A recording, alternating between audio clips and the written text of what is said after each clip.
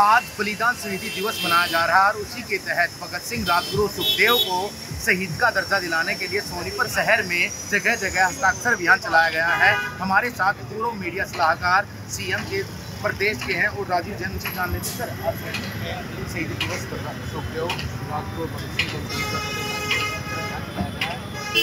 कहाँ पे जो मानको थाने की आप यहाँ से इस जगह है सबसे पहले मैं हम देश के युवा नायकों को श्रद्धा करता हूँ, जिन्होंने अंग्रेज़ों से इस देश को आज़ाद कराने के लिए अपना सब कुछ बचाव कर दिया, शहीद भगत सिंह राजगुरु सुखदेव आज़ादी के 75 वर्षों के बाद भी इन्हें जो है शहीद का दर्जा आधिकारिक तौर पर, सरकारी तौर पर नहीं मिला है।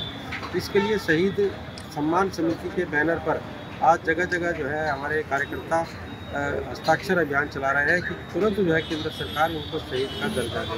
क्योंकि तो इनको जो है अंग्रेज़ों ने फांसी पर लटकाया था, इसलिए जो है आज तक इनको शहीद का दर्जा नहीं मिला। आज जो है शहीद भगत सिंह, राजगुरु सुखदेव, देश के करोड़ों युवाओं की जो है आइकॉन है, उनसे प्रेरणा लेते हैं और वो देश के लिए काम करते हैं। इसलिए आज जो है शहीद सम्मान समिति के बैनर पर ये बस अड्डा सुभाष चौक, तिरंगा चौक पर जो है कार्यकर्ताओं ने हस्ताक्षर अभियान चलाया है। और ये हस्ताक्षर अभियान के माध्यम से आज जो है और ये लगातार चलेगा ताकि लाखों की संख्या में युवाओं के जो है भावनाएँ केंद्र सरकार तक जो है पहुँचाई जाएँगी गृह मंत्री तक पहुँचाई जाएँगी ताकि इनको जो है मान सम्मान मिल हिंद जैन साहब एक मामला और आज सामने आया है कि तो खाने के बहुत ज़्यादा लोग आप खुद वहाँ पर गए क्या देखिए मैं अभी जो है सभी हॉस्पिटलों का दौरा करके आया हूँ। सैकड़ों की संख्या में जो है वहाँ मरीज़ एडमिट भी है। काफ़ी लोगों को प्राथमिक उपचार की छुट्टी दे दी गई है। मैंने जो है स्वास्थ्य मंत्री अनिल जी से भी बात की है, प्रशासन से भी बात की है। दोषी अधिकारियों के खिलाफ और जो आटा बेचने वाले हैं, उनके खिलाफ भी सख्त से सख्त कार्रवाई की जाए।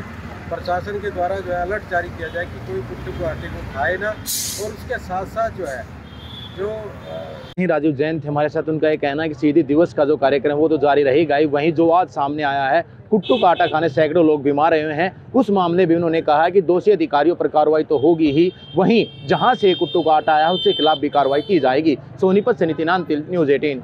आज बलिदान स्मृति दिवस मनाया जा रहा है और उसी के तहत भगत सिंह, राजगुरु सुखदेव को शहीद का दर्जा दिलाने के लिए सोनीपत शहर में जगह जगह हस्ताक्षर अभियान चलाया गया है। हमारे साथ पूर्व मीडिया सलाहकार, सीएम के प्रदेश के हैं और राजीव जैन से जान लेते सर शहीद दिवस सिंह को का। कहाँ की है, सबसे पहले मैं हम देश के को अपनी सुमन अर्पित करता हूँ जिन्होंने अंग्रेज़ों से इस देश को आज़ाद कराने के लिए अपना सब कुछ बचाव कर दिया, शहीद भगत सिंह राजगुरु सुखदेव आज़ादी के 75 वर्षों के बाद भी इन्हें जो है शहीद का दर्जा आधिकारिक तौर पर, सरकारी तौर पर नहीं मिला है। इसके लिए शहीद सम्मान समिति के बैनर पर आज जगह जगह जो है हमारे कार्यकर्ता हस्ताक्षर अभियान चला रहे हैं कि तुरंत जो है केंद्र सरकार उनको शहीद का दर्जा दे। क्योंकि तो इनको जो है अंग्रेज़ों ने फांसी पर लटकाया था, इसलिए जो है आज तक इनको शहीद का दर्जा नहीं मिला। आज जो है शहीद भगत सिंह, राजगुरु सुखदेव देश के करोड़ों युवाओं की जो है आइकॉन है।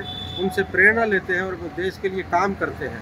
इसलिए आज जो है शहीद सम्मान- सम्मान समिति के बैनर पर ये बस अड्डा सुभाष चौक, तिरंगा चौक पर जो है कार्यकर्ताओं ने हस्ताक्षर अभियान चलाया है और ये हस्ताक्षर अभियान के माध्यम से आज जो है और ये लगातार चलेगा ताकि लाखों की संख्या में युवाओं के जो है भावनाएँ केंद्र सरकार तक जो है पहुँचाई जाएँगी, गृह मंत्री तक पहुँचाई जाएगी ताकि इनको जो है मान सम्मान मिल जय हिंद। साहब, एक मामला और आज सामने आया है कि तो बाटा खाने के बहुत ज़्यादा लोग आप खुद वहाँ पर गए हैं। देखिए, मैं अभी जो है, सभी हॉस्पिटलों का दौरा करके आया हूँ। सैकड़ों की संख्या में जो है, वहाँ मरीज़ एडमिट भी है। काफ़ी लोगों को प्राथमिक उपचार की बात छुट्टी दे दी गई है। मैंने जो है, स्वास्थ्य मंत्री अनिल जी से भी बात की है, प्रशासन से भी बात की है दोषी अधिकारियों के खिलाफ और जो आटा बेचने वाले हैं, उनके खिलाफ भी सख्त से सख्त कार्रवाई की जाए।